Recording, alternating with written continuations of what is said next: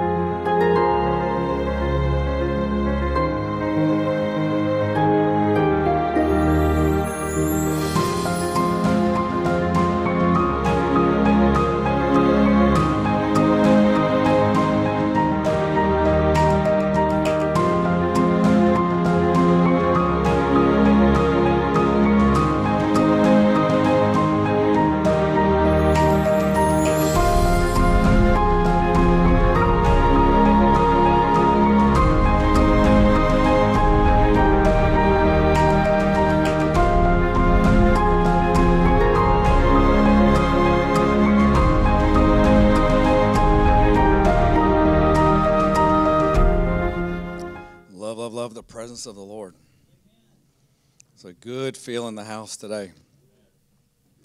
I feel joy, I feel expectation. Worship was awesome. The presence of the Lord is so strong this morning. And I love having a place that we call home where the presence of the Lord is always so welcome. God is so gracious. Amen. Tyler, this morning's message is it's the best of times and the worst of times.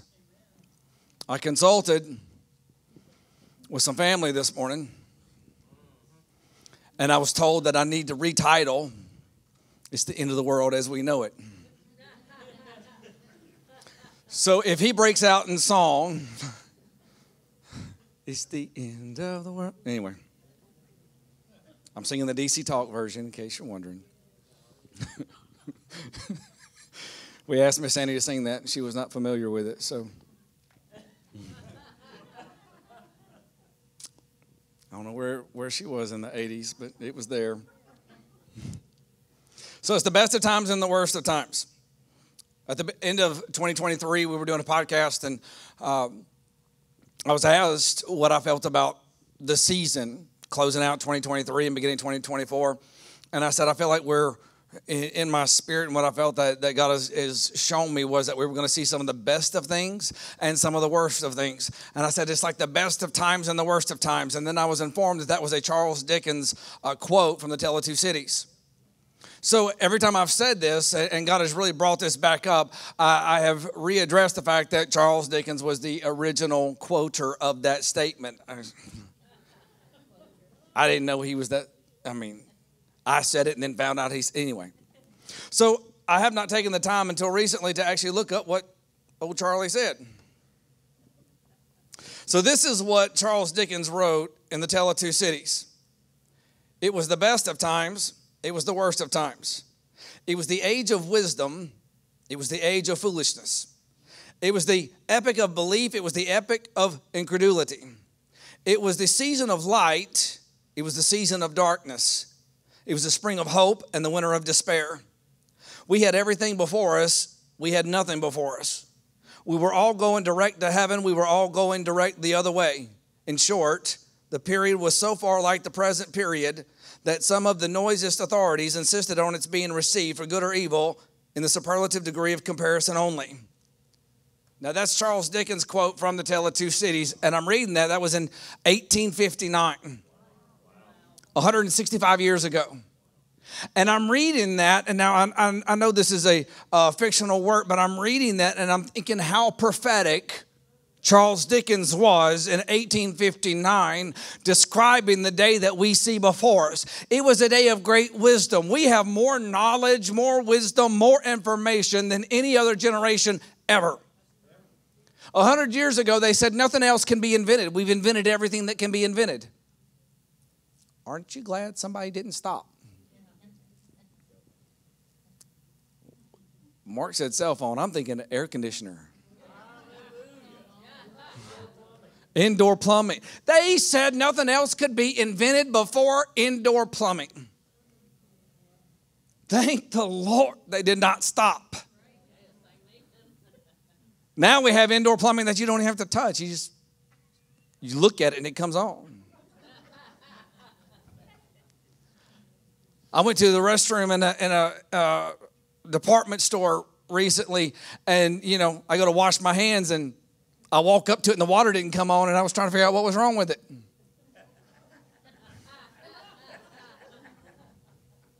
Now, some of you are thinking, uh huh, it had a handle. No, it really did. It was broke. But I was like,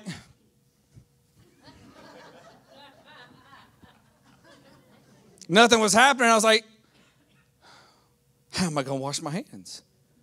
I mean, this was a conflict. Little boy was in there too. He was running from each one, trying to find one to work.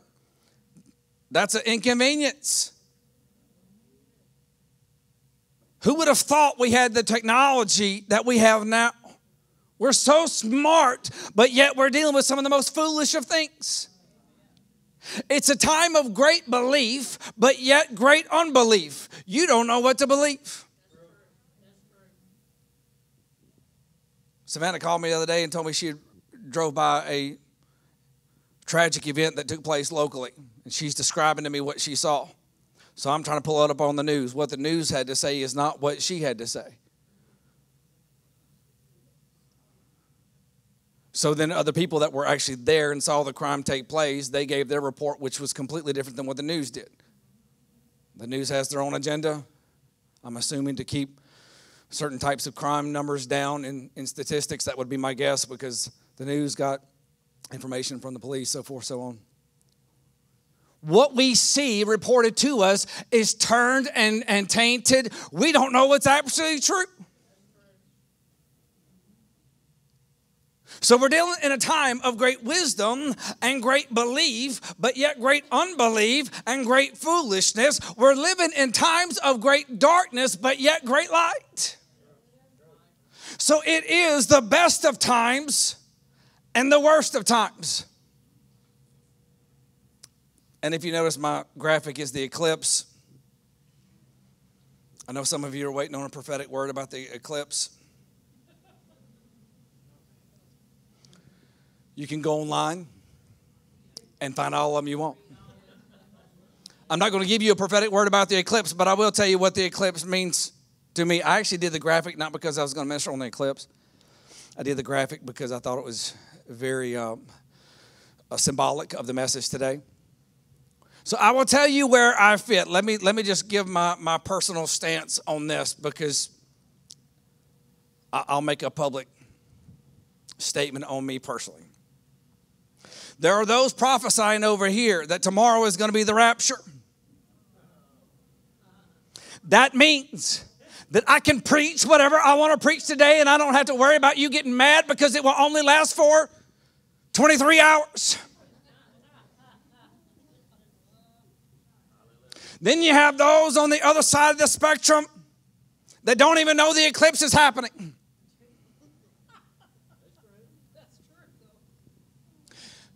So let me give you what I feel.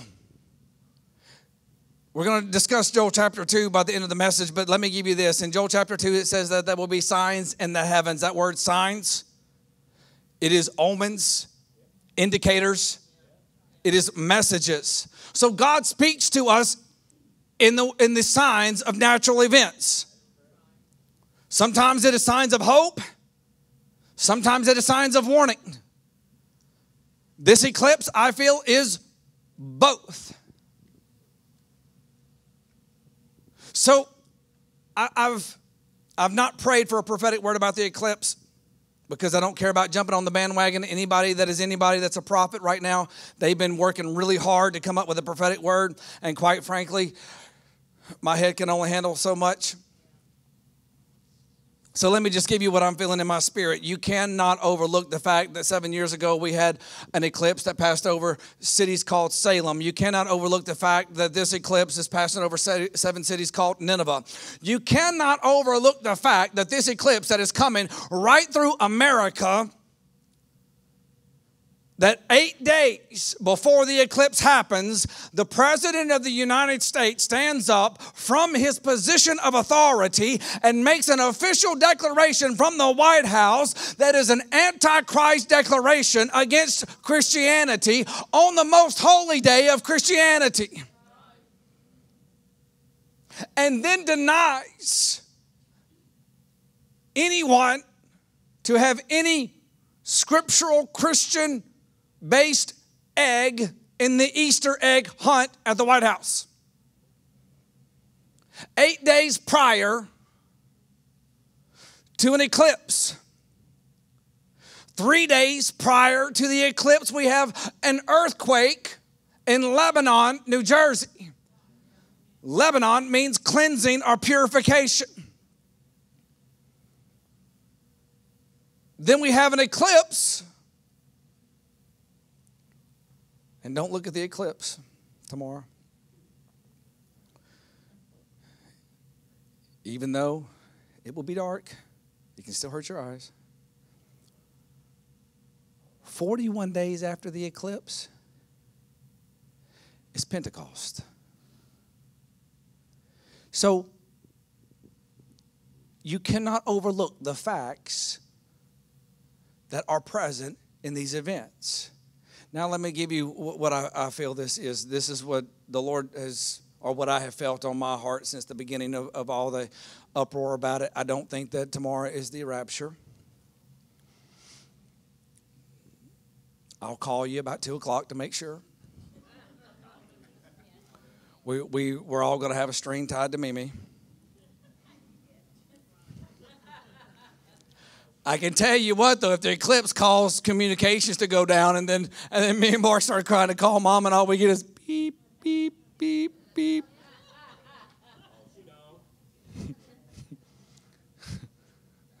we all gonna be out here.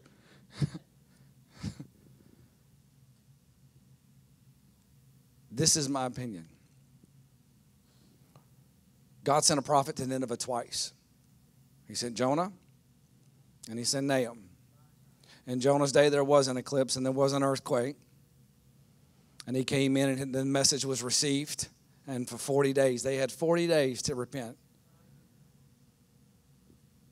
And then on the 41st, God brought revival economically, socially, spiritually. I don't believe that this. I, I, I believe that this, this eclipse is a sign to the church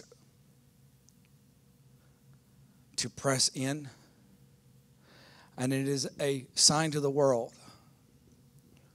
wake up and listen.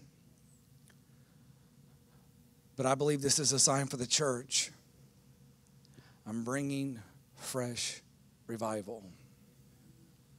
If I can sum it down into one statement, that's what I would give you. I'm bringing fresh revival. So that's what I feel about the eclipse. Let me get into the message and, and I can clarify a little bit more about fresh revival. Let's look at 2 Timothy chapter 3. Because this is going to be a hopeful message, a good times message, and a bad times message. In 2 Timothy chapter 3, we, we have Paul that is in, in 1st and 2nd Timothy, Paul is instructing Timothy. So these are these two epistles are Paul's letters to Timothy, his spiritual son, that will carry on his ministry and legacy. So First Timothy, he goes through all these instructions. And Second Timothy, he goes through these instructions. And then by the time he gets to the end, he, he really wants to get the awareness to Timothy of what is coming. And he says, there will be Uh, he says, Understand this. In the last days, I'm reading now the ESV, there will come times of difficulty. The King James says, perilous times. For people will be lovers of self, lovers of money, proud, arrogant, abusive, disobedient to the parents, ungrateful, unholy, heartless, unappeasable, slanderous, without self control, brutal, not loving good, treacherous, reckless, swollen with conceit, lovers of pleasure rather than lovers of God, having the appearance of godliness but denying its power. Avoid such people. For, for among them are those who creep into households and capture weak women, burdened with sin and led astray by various passions, always learning but never able to arrive at the knowledge of the truth. Just as Jannes and Jambres opposed Moses, so these men also oppose truth. Men corrupted in mind and disqualified regarding the faith, but they will not get very far, for their folly will be plain to all, as was those two men. So when it says perilous times, that word perilous is kalepos, and it is only used two times in Scripture. It is used right here in 2 Timothy chapter 3, and it is used in Matthew chapter 8 to describe the behavior of the demoniac. So this wasn't just, oh, there's going to be difficult times. The word difficult is used a lot. We all have difficult times. Amen? Life is full of difficulties. You go to the store at the wrong time, and it can be a difficult time. Go to the gas pump at any time, and it's a difficult time. So, so we understand difficult times, but kalepos is different. This is demonic times. It means fierce. It means demonic. It means furious. It means the idea of reducing the strength. It is times that are so difficult that it causes you to feel weak just because of the time that you're in. That's interesting. When you look at something and, and just the thought of it begins to be so overwhelming that it causes you to feel weak. Have you ever had a phone call that just took the strength out of you? Like that. He says, Son, in the end times, he said, I, I, need you to understand. Paul tells us over and over in Scripture, he said, I don't want you to be caught unaware. So he tells Timothy, he says, Son, there's going to come in the last days. What are the last days? It is the final stage. He said, In these last days, there are going to come times that are so demonic. You're going to see this because people are going to be so consumed with themselves. They're going to be hateful. They're not going to care about anyone else. They're going to be so uh, filled with greed and conceit and pride that they're going to be so narcissistic in their behavior, so self consumed that they won't care about anyone else. They're going to be driven by this demonic behavior. So don't be caught off guard. Oh, and by the way, there's going to be some like Jannes and Jambres. Well, these were the two magicians that opposed Moses. Moses throws his staff on the ground and it becomes a snake. They throw a staff on the ground. Out comes a snake. So then Moses is snake slithers on over, has a snacky snack. They do, they try to perform the same signs that Moses did by acts of witchcraft and trickery. And Moses exposed them over and over and over in their attempts. So Paul says, just as Jannes and Jambres tried to oppose Moses, there are those rising up and they will have false signs, they will have false wonders, they will have false words. But don't worry because God's exposing them. It will be made clear just as it was with Jannes and Jambres. We are living in the time that we will see great darkness. So I want to give you points about this season. Number one are, is demonic times. If you watch any news, or if you go to Facebook for your news, you can see we're living in demonic times. ministers being exposed for doing things that are absolutely unimaginable. Politicians and and and Hollywood elite, people that have been worshiped as idols, being exposed for heinous crimes. We're living in demonic times. So, Paul, he's making it very clear not to be afraid, but the understanding that these, when you see these things, it's not something to fear, it's something to understand that this is a sign of the last days. Now, there was a prophetic timeline, right? So, so everything that's happened, God already knew it was going to happen. He knows the end from the beginning. Nothing that happens to us personally, to us nationally, to us globally, nothing that happens catches God off guard. It's not like he, he sits back, I didn't see that coming. He already knew before the foundation of the world well, how this was going to play out. That's why Jesus was slain before the foundation of the world because he knew he would give man the law. He knew man would sin and that they would have be in need of the law. He would give them the law, but the law would be uh, dependent on the work of the person. And he knew that there had to be that span of time that man could see that you could not be holy in and of yourself by works. And he would bring the propitiation for sin, the Messiah the only one worthy, the spotless lamb, the only one worthy to be the sacrifice for the sins of humanity. God already knew all this. He already knew that you and I would be sitting in this room today. Think about that. When he breathed into Adam, he knew that we would be sitting here today. Mind blowing.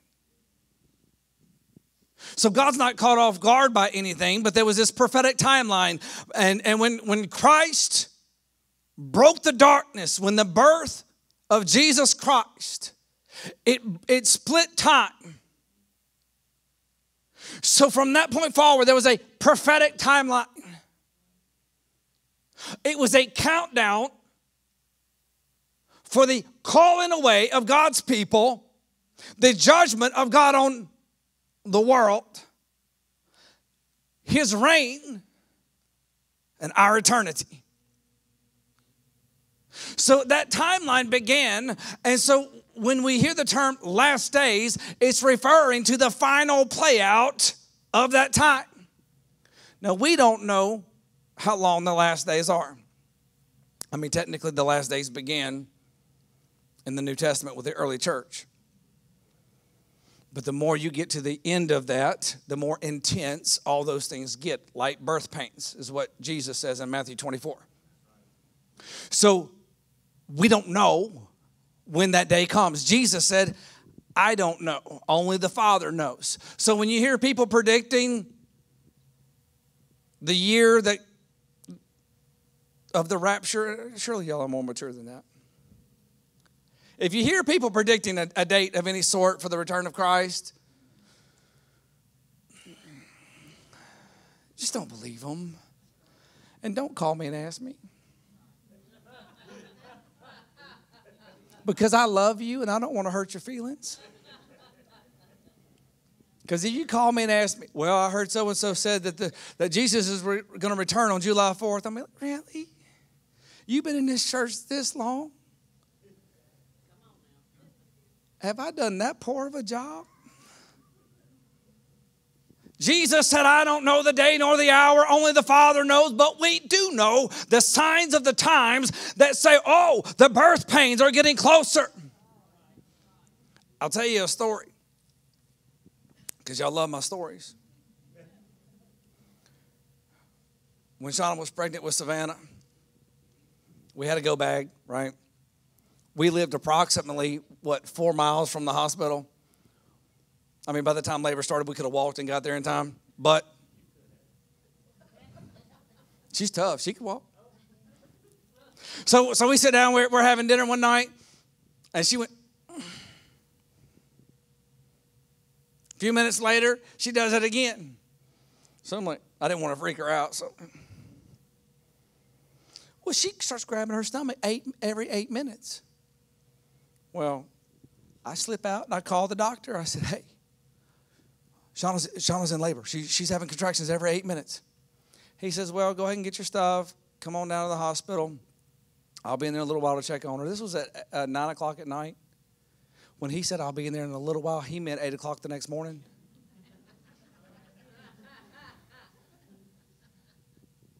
His little bit and my little bit were not the same. So I loaded her up. I got her. I, I, I was trying to get her to the car. We had a little little truck. We're coming down Forsythe. I was doing like 75 down Forsythe. Flashers on. I'm thinking this baby could come any second. Almost. It was about, what, 12 hours or so that you were in labor? We get to the hospital and this nurse, this nurse coming there, she said, Well, we need to see if you're actually in labor. I looked at her. Like, how dare you? If I tell you that woman's in labor, she in labor. And she was. The nurse said, Oh, you're in labor. I was like, No, really? Glad you got that education there. You could have listened to me and saved you a lot of money. Anyway. We would count when those contractions would get closer and closer and closer. Those doctors or that doctor and those nurses, they do this every day. They know when it's a false start. I didn't. I was like, she don't fake.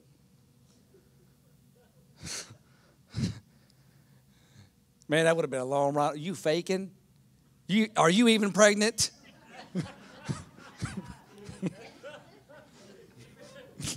I'm, I'm coming over this side.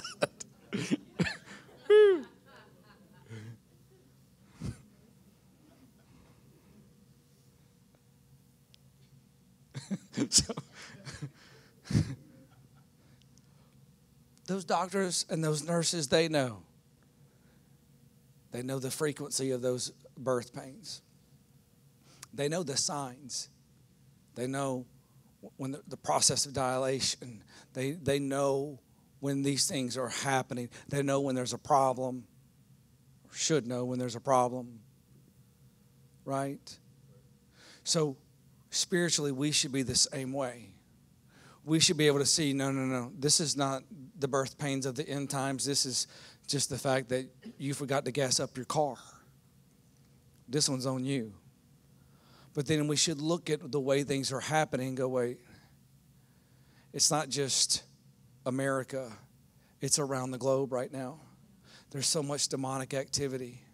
Why is it that our leaders are making every decision possible to destroy our nation, not to build our nation? Why, why, why are we kicking our veterans to the streets so we can house people that come illegally? We're all immigrants. We, we know this, right? You can make that argument all you want. But to come here legally versus illegally is two different things. To use the open borders in a way to bring terrorists into our nation. If you can't kill us from without, kill us from within. I mean, is this the new government policy? We have foreign nations that fly spy balloons over our nation, and our leaders sit back and go, huh, he's so shiny. That's what you got? Shoot it down. And then finally, with enough pressure, after it makes it all the way across America, then they say, oh, well, let's shoot it down. Really? Really? Why don't, why don't you just send China the blueprints? Might as well. When we live in a day that to be a, a Christian is frowned upon in a Christian nation, something's wrong. When we live in a day that you can say just about whatever you want about just about anything, but if you get up with, with Christian values, then all of a sudden you're banned. When you get up and you give truth, but it doesn't line up to the narrative, and you get blackballed, something's not right.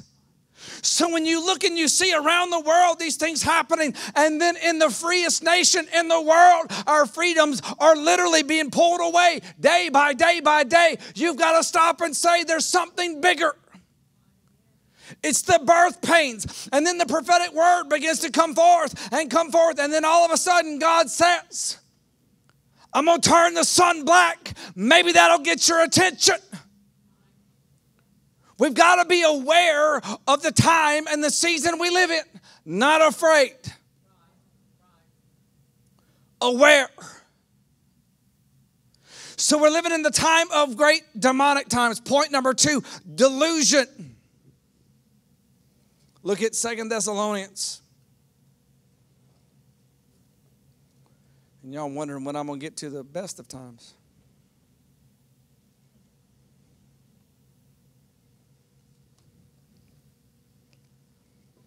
You know who you need to vote for in this next election? See some of y'all, you're like, oh yeah, you're going to get kicked off of YouTube now. Jesus. We need Jesus. Joe Biden is not going to save this nation. You can quote me on that.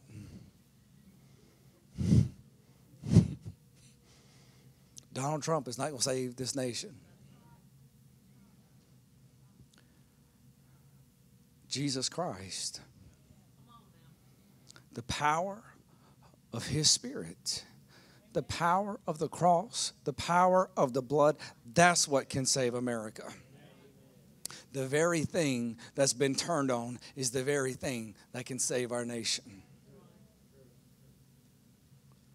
In Second Thessalonians chapter 2, it says, Now concerning the coming of our Lord Jesus Christ, and are being gathered together to him, we ask you, brothers, not to be quickly shaken in mind or alarmed, either by spirit or spoken word or by letter, seeming to come from us, to the effect that the day of the Lord has come. Let no one deceive you in any way, for that day will not come unless the rebellion comes first. And the man of lawlessness is revealed, and the son of destruction who opposes and exalts himself against every so called God or object of worship, so that he takes his seat in the temple of God, proclaiming himself to be God. Do you not remember that when I was still with you, I told you these things? And you know what is restraining him now, so that he may be revealed in his time. For the mystery of the lawlessness one is already at work. Only he who now restrains it will do so until the, he is out of the way. And then the lawless one will be revealed, whom the Lord Jesus will kill with the breath of his mouth and bring him to nothing the appearance of his coming. The coming of the lawless one is by activity of Satan with all power and false signs and wonders and with all wicked deception for those who are perishing because they refuse to love the truth and so be saved. Therefore, God sends them a strong delusion so that they may believe what is false in order that all may be condemned who did not believe the truth but had pleasure in unrighteousness. That word delusion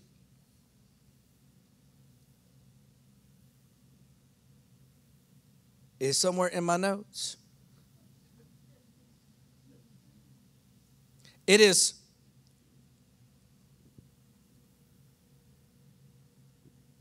actually, I remember that.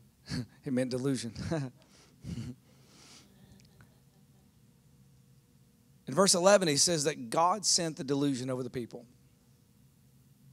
I don't want you to be misunderstanding of the season we're in. Verse 11 says, God sent a strong delusion over the people so they could not believe truth. So God sends that delusion we are not in the time of that delusion. That's something God does after the Antichrist is revealed. I don't plan on being here when the Antichrist is revealed. First, he says, concerning these things, concerning the coming of our Lord, I don't want you to be caught unaware. He says, So I don't want you to be shaken. I don't want you to be toppled, tossed to and fro by the waves. I don't want you to waver or to be destroyed. I don't want you to be shaken in mind or alarmed by what is written to you, what is spoken to you, or given to you in spirit. Those are the three things he says. So if somebody writes it and says this is what's happening, but it's in contradiction to the word, it's false. If someone says it to you, but it's in contradiction to the word, it's false. If someone says it by spirit, meaning prophecy, he says if someone prophesies it and it does not line up with the word of God, it's false. So don't be alarmed or caught off guard by someone who prophesies, someone who speaks it, or someone who writes it. If it's in contradiction to what we've given you in the Word of God, it's false.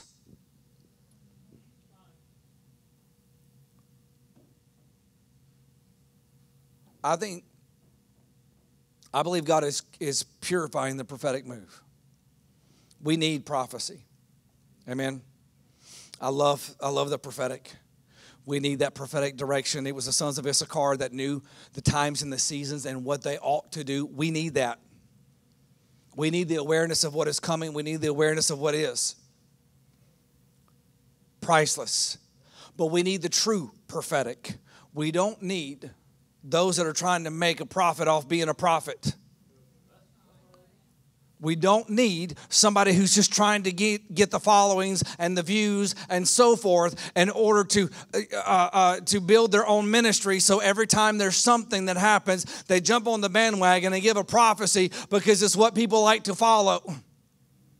We need people that come out of the secret place and they say, Thus saith the Lord, I may not have spoken a word in the last 12 months, but I've been in this secret place and God's had me away in hiding, and I'm coming out of the darkness to tell you, repent for the kingdom of heaven is at hand. And I'll also say this about doomsday doom, doomsday prophecies. Go through scripture and look. There are doomsday prophecies in there. It is the end of the world as you know it. But there's always the promise of redemption and hope. When you hear a doomsday prophecy and there's no redemption and there's no hope, run and don't buy what they're selling. I'm not trying to get on a soapbox with it, but I just, I value the prophetic so much. Man, when God speaks, He gives us that word of hope and healing in a moment. He gives us word of direction in the moment. And when somebody tries to trivialize that into being nothing more than, than a pay for profit, that, that is a very appalling to what the prophetic really is.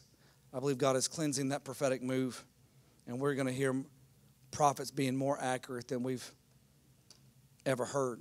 And understand there's a difference in between operating prophetically and being a prophet. We should all operate prophetically. But then there are those that have the office, the mantle of a prophet.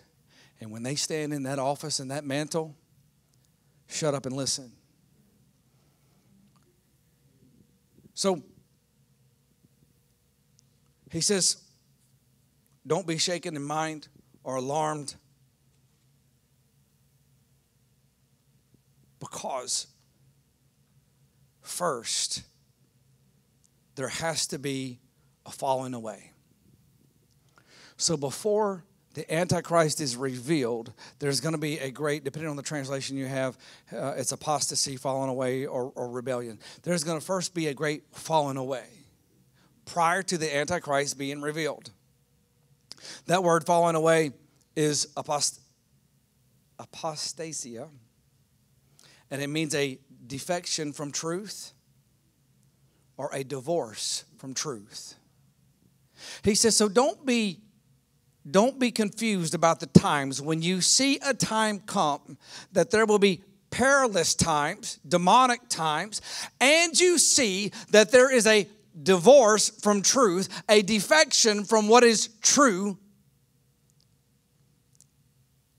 Do I need to say anything on that?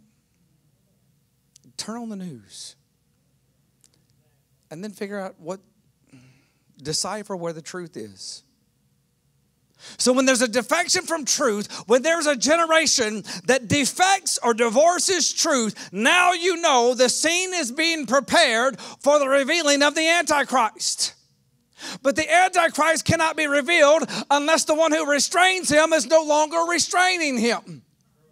Who's the restrainer? It's the Holy Spirit. Know ye not you are the temple of the Holy Spirit. That means that I have the Holy Spirit inside of me. You have the Holy Spirit inside of you.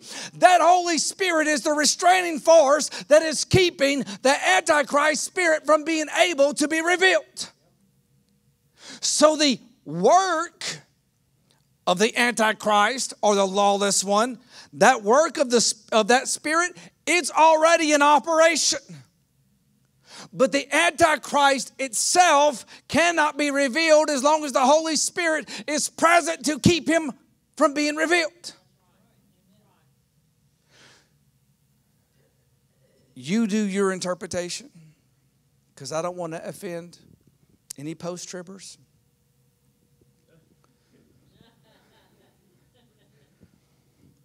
Man, you see two, two ministers that are they love each other. They meet each other. They just think each other's the greatest thing until they get to the tribulation, and then like, well, I'm I'm pre-trib, and then the other one's mid-trib or post-trib, and all of a sudden, BFFs are are gone.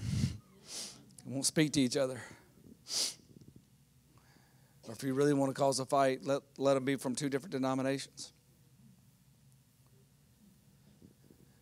The work of the Antichrist is there but the Antichrist can't be revealed until the restrainer is removed. The restrainer will not be removed until believers are out of here. That means that the calling away that Paul talks about in Second Thessalonians, I know people fight over the dumbest things. You talk about the rapture, and people are like, well, that word is not in Scripture. Well, neither's your name, so big deal. The word rapture technically is not. The principle is there. It's called a calling away or a gathering. Call it whatever you want, potato, potato. The principle is there. Those that have the Holy Spirit, those that have been washed in the blood, those that have confessed Jesus Christ as their Lord, they're going to be and not be. You don't want to call it rapture, don't call it rapture. Call it the not be. There's going to be a calling away. When the calling away happens, the, the, all those that are marked by Jesus Christ will be called away out of this place, and then the restrainer, Holy Spirit, is no longer restraining the Antichrist, and then the Antichrist comes on the scene, and God places such a strong delusion that the people wouldn't know what is truth or not. Until then, the enemy tries to bring a delusion. But only the only way to defeat the delusion is by the revelation of Jesus Christ. He's the one. First Corinthians says that they look at, at, scripture and they can read the stories, but they can't understand it because there's a veil that separates their understanding. Only by the Holy Spirit can the veil be removed and their understanding opened. You can talk to someone till you're blue in the face and never get anywhere. But the moment God touches them, you won't have to say much. So, point number one is demonic times. Point number two is delusion. Point number three great light.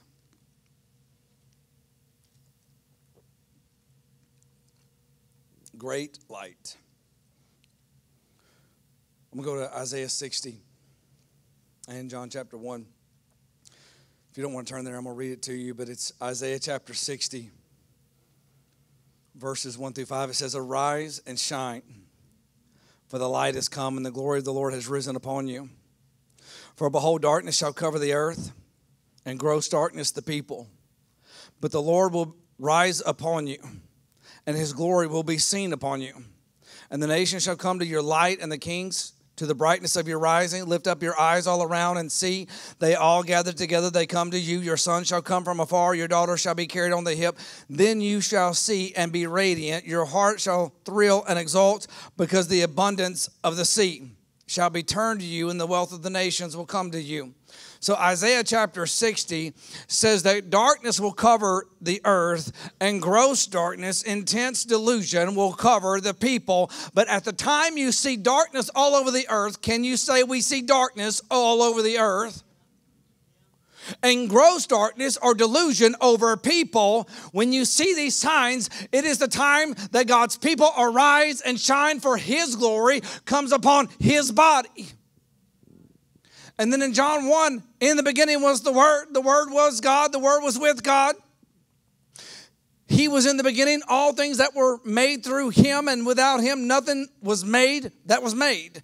In Him was life, and the life was the light of men. And the light shines in the darkness, and the darkness could not overcome it. So, when the end times come, as we see that progression, which we are all, I mean, we've been in the end times in the last days for 2,000 years, but now we're coming to the stage of the final layout of those, those times. Darkness covers the earth, gross darkness the people. And sometimes you can, if you watch news and listen to so many things or, or spend a lot of time on on Facebook, you can get discouraged, right? You can get discouraged quick. But then when you find out that one thing's not true, and then another one, then you can get really discouraged because you don't even know what to believe. You really just want somebody to tell you the truth. The answer is not in trying to figure out who's telling the truth. The answer is in Jesus Christ. The light that shines, the darkness tries to overtake it, but it could not comprehend it. It could not overtake it. When darkness covers the earth and grows darkness the people, that is when the light shatters the darkness. We are in the last days. We are in the end times. Does that mean 24 hours? 24 years? I don't know. You don't know. Well, what I do know is that we are to be prepared and we are to understand the birth pangs that we feel. There's a dying generation. Maybe, maybe God didn't give us the, the complete layout because He needed us to live as if the rapture could be at any moment with the understanding that it may not be for another hundred years, that we would understand the seriousness and not let a day go by, that we don't approach other people in the light. This could be our last day. Matter of fact, there's no none of us are promised another day, right? So demonic times, delusion, great light borders and boundaries are being redrawn. Now, this is really what I want to, a couple of points that I want to get to you right now. Genesis chapter 12. This is something that's been stirring in me for a couple weeks.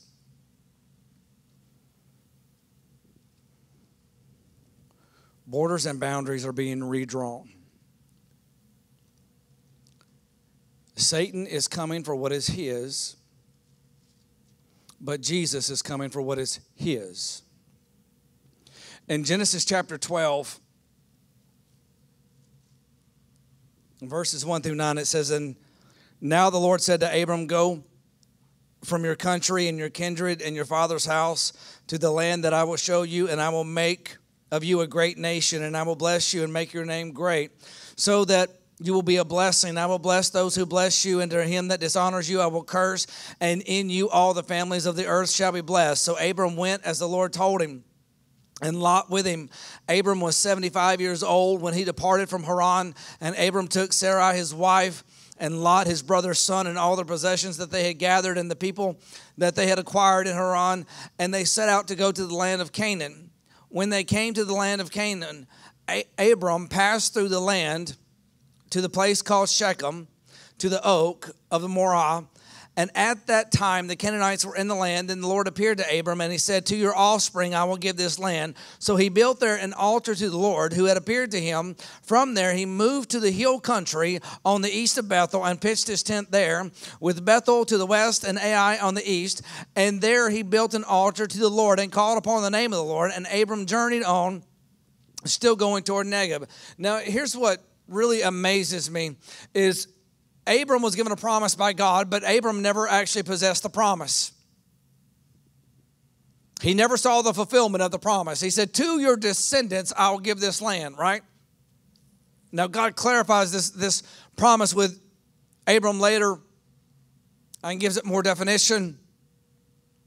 But he tells him, he says, I need you to go where I tell you to go. So he sets out, and, and God would literally say, Go east. So he would go east. And he would come to a place, and when he would come to that place, he would stop and he would build an altar to the Lord and sacrifice, worship God. And then when he was through there, he would go to the next place and he would stop and he would build an altar, worship God, make sacrifice, and then he would go to the next. For years, he did this. Literally, Abram's path that God had him travel was literally marking the boundaries of the promise that would be given to his descendants. So, everywhere, and, this is, take it to Joshua, in Joshua chapter 1, God says, Everywhere your foot treads, I'll give to you. Why? That word treads the rock, and it means that you're willing to fight for. That was the possession. God wasn't giving Joshua the promise, he was giving Joshua the possession. The promise was given to Abram, but it was Joshua's time to come in and possess the promise. So he says, Everywhere you're willing to fight for, I'll give you. Why? Because God had already secured it over here with Abram. When Abram would go out and he would build this altar and he would mark this spot, now this spot belongs to Abram because God told him to go there and he built an altar to God. He marked it. So then he goes to the next spot and he marks it. And he goes to the next and he marks it. So when Joshua comes, Joshua's not going by his own fruition, he's going to the places that have been marked.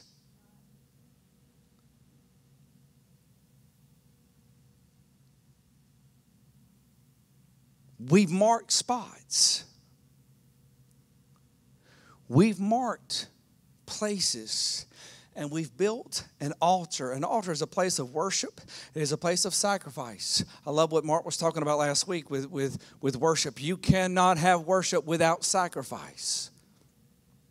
So, think about the times you've spent in intercession. Your son, your daughter, your husband, your wife your finances, your health, your mind. Think about the times you've, you've spent in intercession. Think about the times you've worshiped, you've made sacrifice for those things. You've marked that spot. Matter of fact, if you'll think of it this way when the plagues were coming against Egypt, the last one, Passover. They placed the blood of the lamb over the doorpost. We all know this. Think about your loved ones that you have prayed for, interceded for, and fought for. And, and don't you know, some days you pray so hard and you feel like you've broken through something just for them to, to treat you or act the next day 10 times worse than they have in months. Right? But understand this when you've been in those times of intercession, you've been taking that brush and you've been dipping it in the blood and you've been marking them with the blood of Jesus. So when the boundaries and the borders are being redrawn, God is looking and He sees, oh, you've marked out this territory. You've made an altar here, here, here, here. So the enemy has had possession in these areas, but you've been marking them with my blood, despite the enemy was still there. When they went out, when, when Abram went out, it says the Canaanites were there. So when you're praying and you're marking, the addiction's still there. The anger is still there. The rejection is still there. I'm talking about the one that you're pressing for but you're marking them with the blood of Jesus despite what is present in the now. Because God's the one that calls things as though they are, even though they're not. So you're marking those altars and your tears and your sacrifice, your heartache is the sacrifice on the altar to the Lord. So there comes a time when Satan comes to take what is his, but Jesus comes to take what is his. So Abram goes out and he marks the territory, calling it rightfully his. In Genesis 31, you can turn there if you want. I'm not going to read through, through there. I'm going to tell you the story. Because we've been ministering out of Genesis 32 lately, right? Genesis 32 is Jacob wrestling with the angel. But what brings him to that point is he's running from Laban. So, so Jacob is running from Laban. Laban is coming to kill him. He's coming to face off with Esau that's going to kill him. But this is so amazing to me. Laban has what he feels is a right he tells Jacob in Genesis 31, he says in verse 29, It is in my power to do you harm.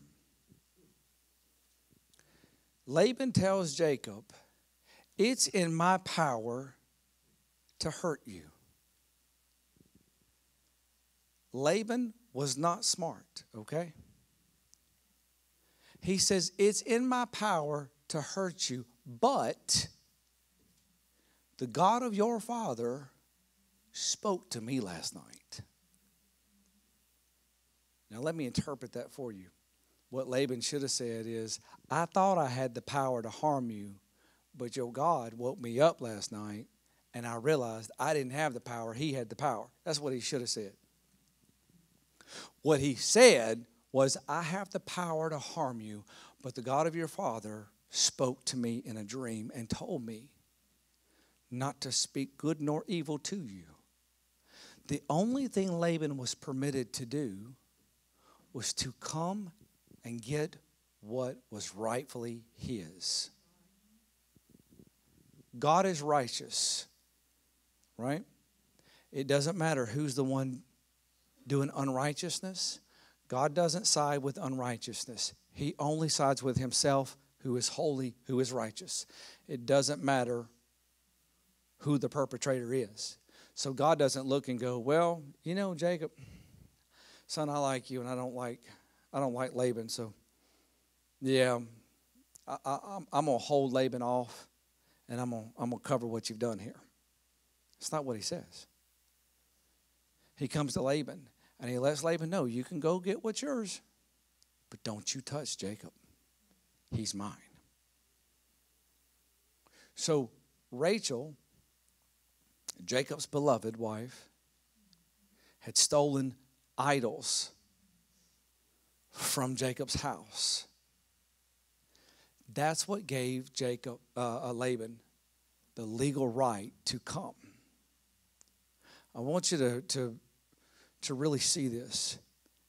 The enemy can only come and get what's his. I was praying the other day and, and I, I felt so clear Satan's coming for what's his. That's a, that can be a scary thought. Like when you just hear that, you're praying, Satan's coming for what's his. Well, well that, that makes you kind of stop but then if you listen, Satan's coming for what it's his. that means the only thing he can have is what's rightfully his, which means that I shouldn't have it in the first place. That means that God, what, what God is saying, because Jacob didn't know there was an idol there. Leah didn't tell him. You would think by now he would be like questioning everybody, hooking everybody up to a lie detector, because so far the boy's been lied to the whole time.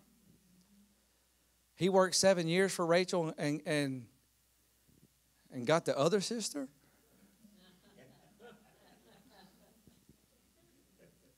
That's when The Bachelor started. I've never watched the episode of that, but and he worked seven more to get Rachel, and then and then he's broke. You get married, you're broke either way. I'm kidding. We were just young.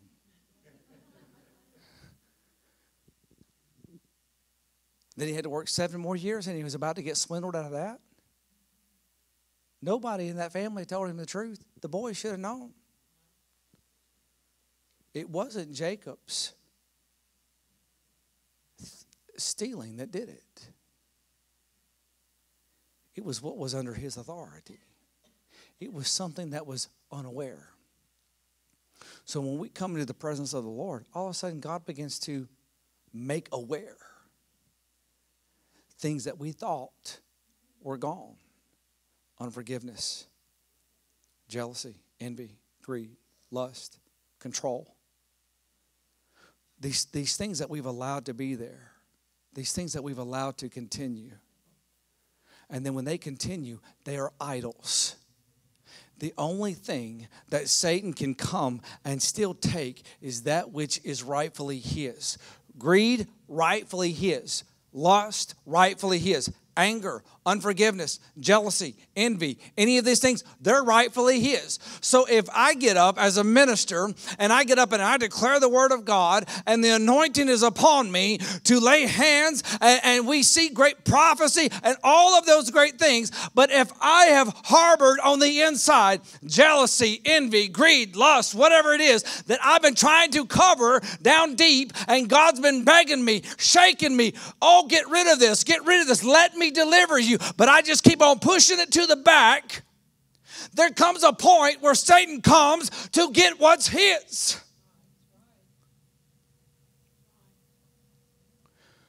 Likewise,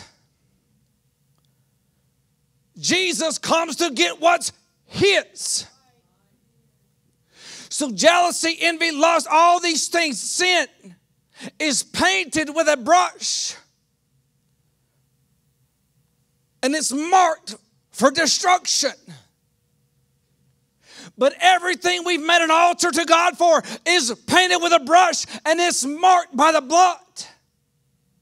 So when there is a time of reckoning, of reconciliation, then Satan comes to take what is his, but Christ is coming to take what is his. So Satan comes because there's jealousy, envy, whatever, whatever, whatever, whatever. But Jesus comes because you've been painting that son of yours. You've been painting that daughter of yours. You've been painting that husband and that wife. So Satan's come to, to take what's his, and he comes and he kicks the door in, and he's like, I'm here to get what I've what I have rights to. But then you stop and say, Oh, I'm sorry you wasted your trip because God's been shaking me and taking me through deliverance.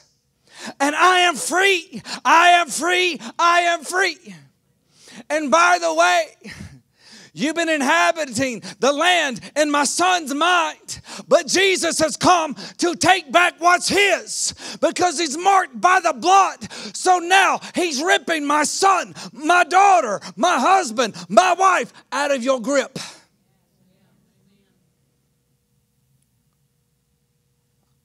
You need to see that. That the person, because I believe that we are at the brink of the greatest prodigal uh, fulfillment of prophecy we've ever seen. The prodigal son was under a delusion, complete delusion. But when he was in that pig pen and he was eating that slop, the delusion broke and he said, If I could just get back to my father's house. Well, you need to see Jesus reach down and pick this child up and shake the mud and the dirt off of him and pick him up and say, Your mama marked you with my blood. Your daddy made an altar for you. And I've come to take what is mine because you've got my blood on you, boy. He told Jacob or Israel in Isaiah 43, he said, You are mine. When something is called by God's name, when He puts it, when it's marked for Him, He says, You are mine. So I believe we're in a time of the reconciling of accounts. Satan is coming to take what is his,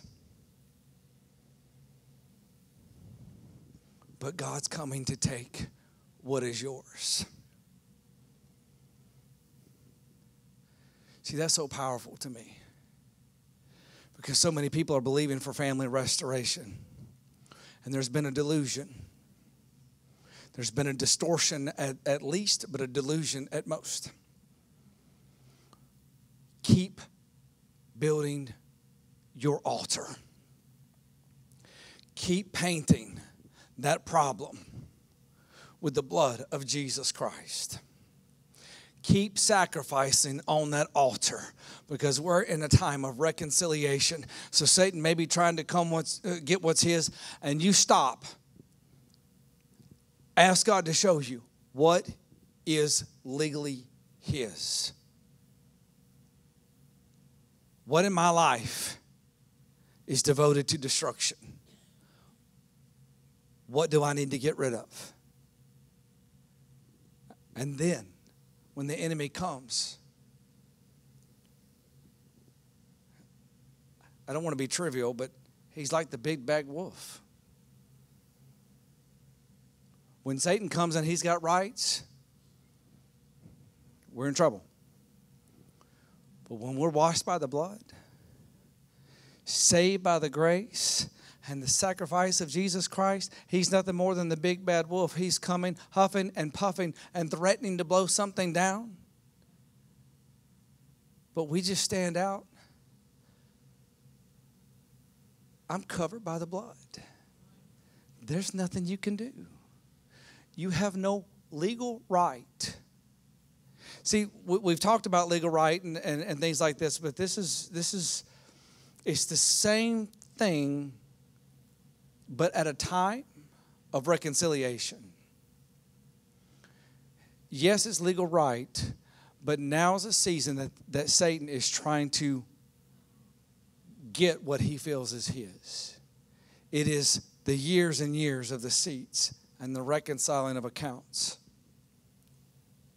So let me give you one last point. Our, our worship team can come. So, demonic times, delusion, great light, the boundaries and borders are being redrawn. Last point, Joel chapter 2. I told you at the beginning I'd get there. The last point is outpouring. I believe we are at the time to see the greatest outpouring of the Holy Spirit we have ever seen. We've seen revivals, we've seen moves, but not like we're about to see. And if you look through times in Scripture uh, of, of great revival and outpouring, whether it be in the Old Testament with the nation of Israel, the New Testament. It's at the darkest of times. Read through the book of Judges. When they were under persecution by another nation, they would cry out to the Lord. God would hear their cry, send a deliverer. Great revival. It was always at the darkest of times that God sent the word to break the darkness and bring forth the greatest revival. So when we look around and we see these are the darkest times, some of the darkest times we've ever seen. I mean, make no doubt, days like September 11th were dark moments, World War II, dark seasons. But when you see the overall uh, uh, darkness, the wickedness that is present in this day and age, it's the darkest times we've ever seen. we are ripe for the greatest of moves. So, Joel chapter 2, verse 23. Be glad, O children of Zion, and rejoice in the Lord your God, for he has given the early rain for your vindication, and he has poured down for you the abundant rain, the early and the latter rain as before. The threshing floor shall be full of grain, and the vat shall overflow with wine and oil. I will restore to you the years that the swarming locusts have, have eaten, the hopper, the destroyer, the cutter, my great army which I sent among you. You shall eat in plenty and be satisfied and praise the name of the Lord your God, who has dealt wondrously with you. And my people shall never again be put to shame. And you shall know that I am in the midst of Israel, and that I am the Lord your God, and there's no one else. And my people shall never again be put to shame. And it shall come to pass afterward that I will pour out my spirit on all flesh. Your sons and daughters will prophesy. Your old men shall dream dreams, and your young men shall see visions. Even on the male and female servants in those days I will pour out my spirit, and I will show wonders in the heavens and on the earth blood and fire and columns of smoke. The sun shall be turned to darkness and the moon to blood before the great and awesome day of the Lord comes. And it shall come to pass that everyone who calls on the name of the Lord shall be saved. For in Mount Zion and in Jerusalem there shall be those who escape as the Lord has said, and among the survivors shall be those whom the Lord calls. Now, there's point by point here. First, it starts off with I'm going to bring restoration to everything you've lost. I'm going to send the former and the latter rain at the same time. And then he says, and then I'm going to pour out my spirit like you've never seen before. And then there will be signs in the heavens. Chapter 3 now the judgment comes. So prior to the judgment of God, you have restoration, you have revival, you have signs in the heavens. The sun being turned to darkness, moon being turned to blood. Just a few years ago, we had the blood moons. Tomorrow, we have another eclipse. These are signs in the heavens. Should we all bunker down because there's an eclipse tomorrow? No. Now, if I'm wrong, we need names and addresses for everybody who stocked up food, just in case. Because you're going to have visitors tomorrow afternoon.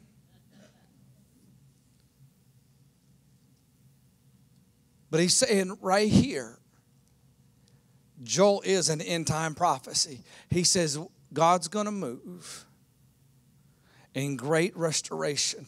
And then you're going to see his spirit poured out Everyone who calls on the name of the Lord will be saved.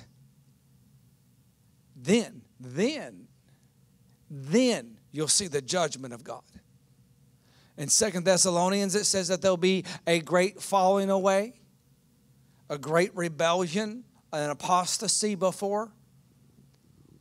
We're there.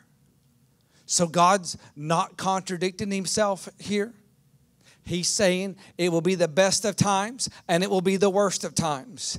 There will be things that are so dark and there will be things that are so bright. There will be a falling away, but there will also be great revival and restoration.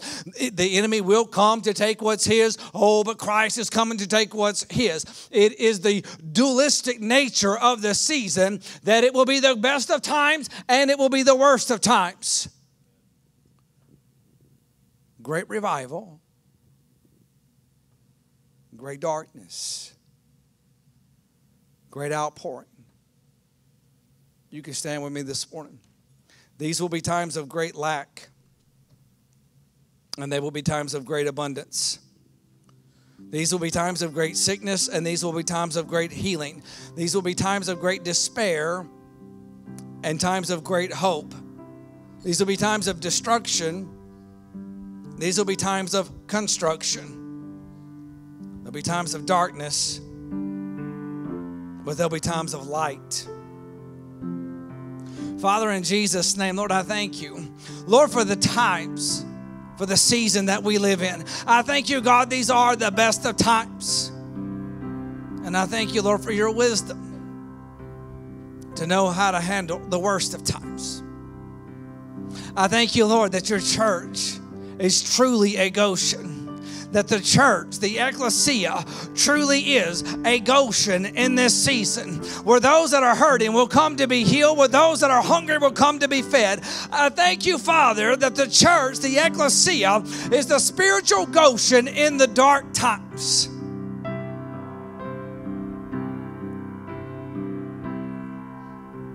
And I thank you, Lord over this house, over this place this morning. I thank you, Lord, right now, through this church. Lord, that you're just healing, that you're delivering, that you're restoring.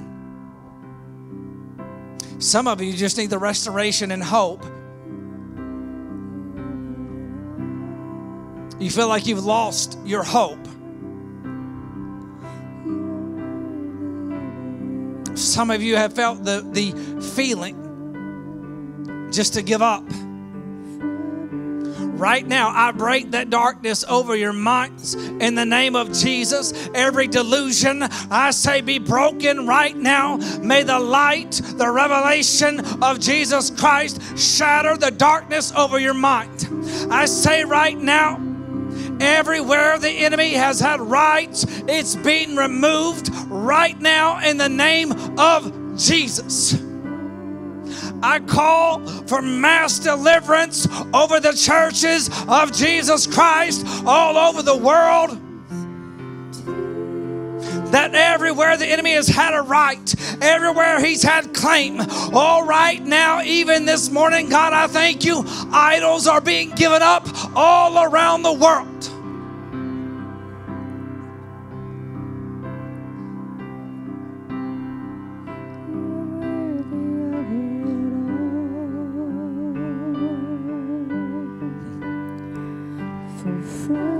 Some of you fight so much oppression because the enemy tries to come in. He's breathing, he's telling you things, he's trying to gain legal access. Some of you have even wondered, have I how have I given the enemy a legal right? It's not because he has a right, it's because he's leaning over the fence. He hadn't stepped across the border. He's leaning over the fence, just spewing stuff at you, provoking you. I say right now, you will not fall to the provocation of the enemy. Oh, but there's a shield about you in the name of Jesus. There is revelation, there is clarity, there is understanding.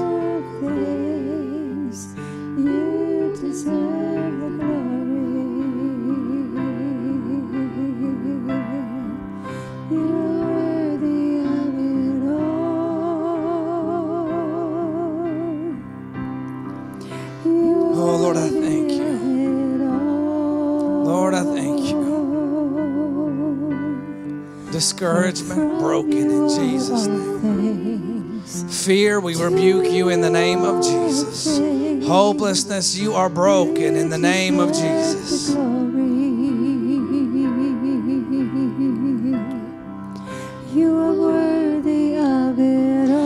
Over the last several months, I've heard several times mass deliverances. Literally, crowds of people being set free simultaneously. Everyone, just raise your hand this morning. Lord, I thank you right now, all in your house.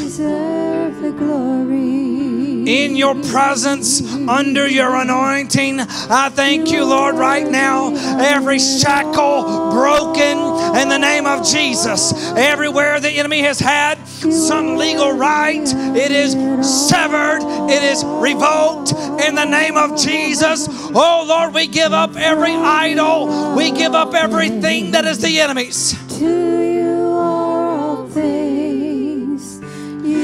We place the blood of Jesus Christ over our minds, over our hearts, over our homes, over our families.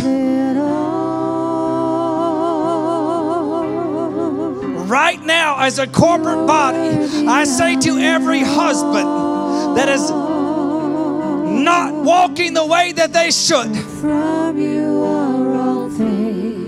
Your wife is here. We plead the blood of Jesus alongside her over you. And we say to the enemy, Oh, we've covered this man by the blood. You are worthy of it all. To every wayward wife, You are worthy of it. we cover you by the blood of Jesus Christ. To every wayward son, to every wayward daughter, oh, we cover you by the blood of Jesus Christ. And we say, Oh, addiction, go back where you came from. Satan can have the addiction, but he can't have the person. Oh, greed, go back where you came from. Satan can have the greed and the lust and the unforgiveness and the anger, but he can't have the person. We plead the blood of Jesus over every son, over every daughter. And we say right now, we stand for our bloodlines.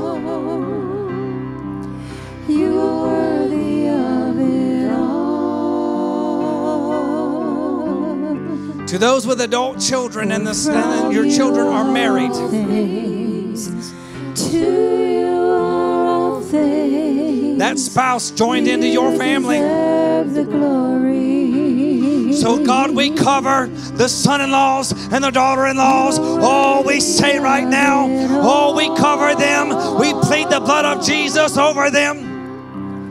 You. To the daughters in law that have tried to be a deception to their husbands, to lure them away. We break that deception in the name of Jesus. To the sons in laws that have tried to be a deception over those daughters, we break that deception.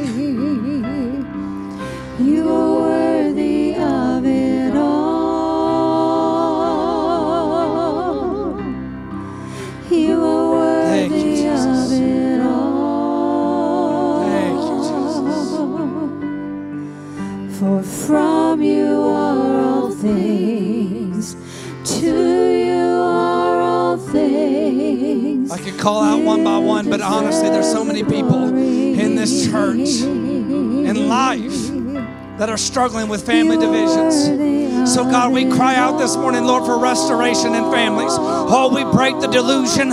I call for the darkness to be shattered by the light of Jesus Christ. Oh, we lay claim, we lay claim, we lay claim. God, you know the altars that have been built, you know the sacrifices that have been made, and we call for the borders, we call for the boundaries to be realigned. deserve the glory.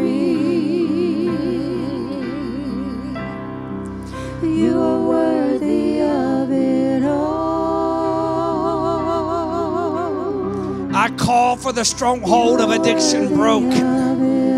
Of it all. the driving force of the demon of addiction broken in the name of Jesus. Oh, I call for that driving force broken in the name of Jesus. Things you deserve the glory. Lord, we ask you for the spouses, You are worthy of the children, the in laws, the grandchildren. Oh, God, pour out your love, pour out your love. Oh, embrace these men, embrace these women. Oh, God, pour out your love, your mercy, your grace. Oh, God, your healing in those deep wounds, those deep places.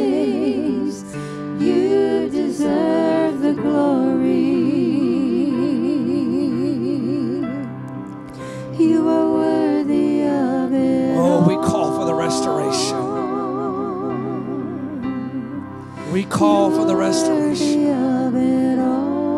To those that are hurting, oh God, just fill them. Oh, just fill them. Oh, just fill them. Oh, fill them, oh God. Oh, those that have been marked in your presence, those that have been marked in your glory.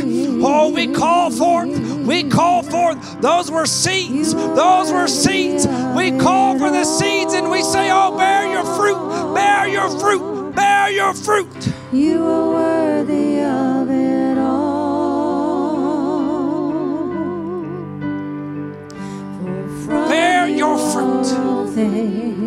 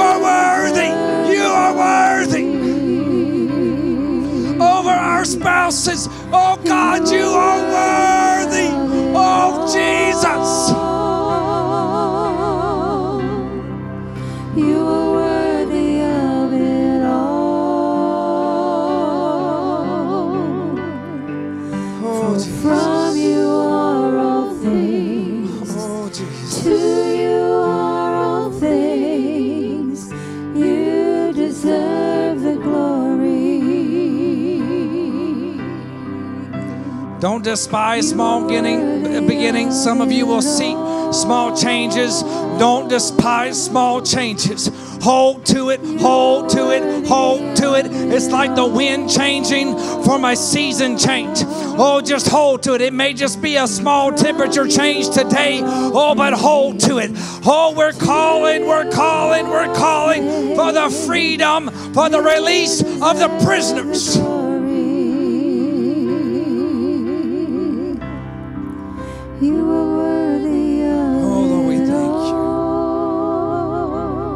Anybody wants prayer this morning, just come, come down. You are worthy of it all. We are getting freedom right here. We are getting freedom. We are getting restoration. Oh, I thank you, Lord. Shackles, shackles, and chains are being broken.